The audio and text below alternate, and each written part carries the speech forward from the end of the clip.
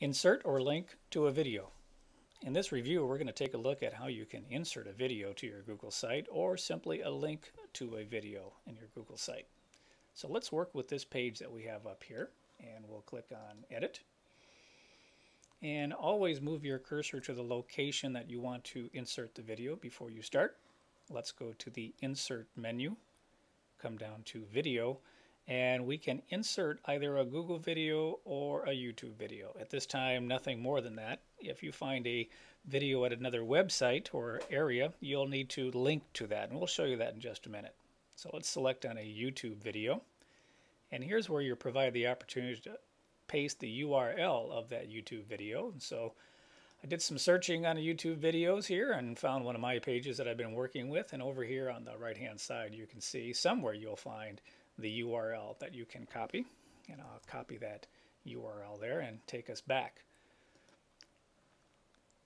We will paste that URL in that space provided and we can also include a title if you wish and we'll just entitle this creating a new page and simply click on save. Now nothing really appears at this time because we're still in the editing mode of the page. Notice at the bottom we can go to the properties and change what we just did. We can align this possibly by moving it to the center, the right or the left, and we can have the text wrap turned on if you wish, or eventually come back and simply remove that video. We'll click on save. And we see that the video is displayed here on the page and the user simply needs to click on the play and begin watching the video. Well, what about those videos you find other than on YouTube or Google videos? Let's see how that works.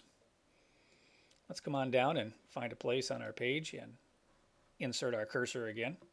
So if we are searching around the web and we do find videos at other locations, here's one at Edutopia. Here's a very interesting video here on Introduction to Teacher Development. I can copy and paste the URL where this video is located come back to my page that I'm working on, move my cursor to our location, and simply paste that URL to the page. Not quite done yet, because once we've done that, we can highlight that URL. Come to the top here and look for our link button, and we simply click on link. That makes this an active link to that particular website, so people are actually seeing the URL and can click to it. We can also remove this as well. We won't do that at this time. So we have an active link. Another way of working on this is actually creating a, well, let's save that first of all. Let's see how that's displayed. Sure enough, there's our video, and here is our link. Notice our cursor changes to a little finger there and heads us off to that location. Let's look at another way of doing this, and we're going to click on Edit Page once again and we're going to move our cursor down just a little bit and we will type in Edutopia.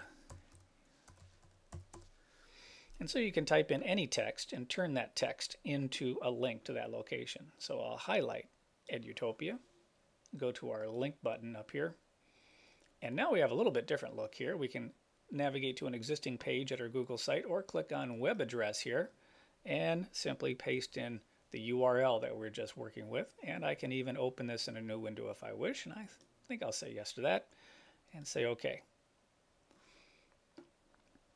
And I will save our changes to this page. And now notice that the word we just highlighted becomes a link in and of itself. So that's a quick review of inserting or linking to a video.